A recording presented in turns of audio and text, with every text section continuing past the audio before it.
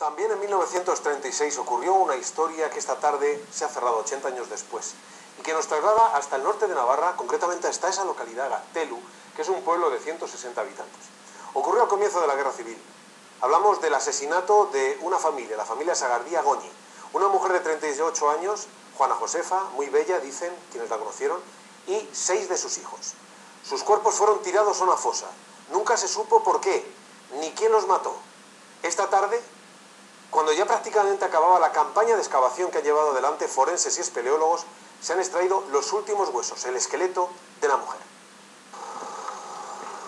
Primera hora de la mañana, el equipo de investigación forense de Aranzadí se dirige por este camino hacia la cima de Legarrea. A las nueve y media en punto se adentran en la fosa para rescatar los últimos restos humanos. Están saliendo huesos en otras zonas. Fuera, larga espera también para los familiares que sabían hoy era un día clave. Pero a las 3 de la tarde llegan novedades desde el interior. Estamos viendo ya los huesos de la madre. Con la noticia confirmada, llega la emoción. A la vez con pena, pero con alegría. No sé cómo explicarte la verdad. Llevas algo dentro que te oprime y de repente hace plaz y, y ya está.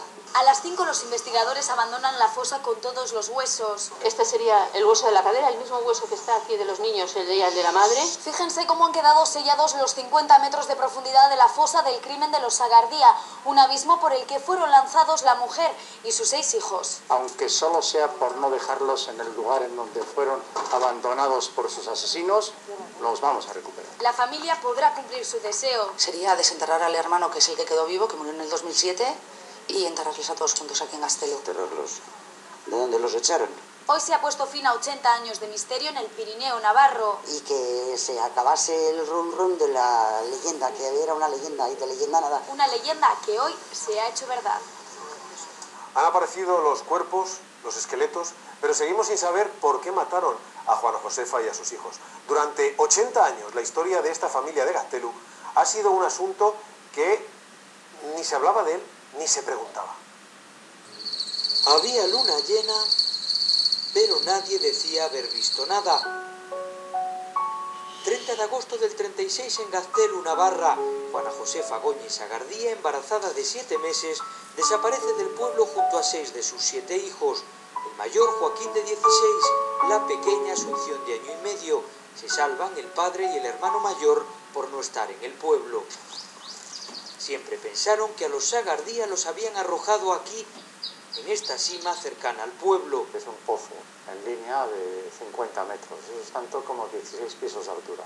Los vecinos les habían expulsado de su casa, obligado a vivir en una chabola, dado el peor de los finales. 80 años ocultándose de padres a hijos, algo que todo el mundo tenía una, tremenda mala conciencia. Les acusaban de pequeños hurtos, pero había, claro, otras múltiples causas. Y sumen la belleza de Josefa, la práctica de la brujería o el ambiente de guerra. Se fijaron en una familia que no era roja, no era republicana, pero era diferente. Y el silencio permaneció en Gaztelu años y años. Es claro. Hasta que las excavaciones en la cima buscaron la verdad a tanto rumor. Siempre estás un poco en la duda, oye, si no es esta la cima...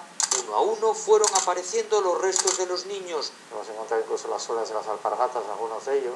Pero faltaba alguien. Si no aparecía la, la madre, eh, se abrían mil especulaciones. Este podría ser la madre. Podría ser. Buah, fue el momento más emocionante porque empezó toda la gente a aplaudir. Con los de Josefa se cierra esta historia. Muy, muy contentos, pero por otro lado tristeza porque se ha convertido en verdad lo que querían decir que era una leyenda. Es octubre de 2016. 80 años para romper el silencio y poner luz a una noche oscura de luna llena.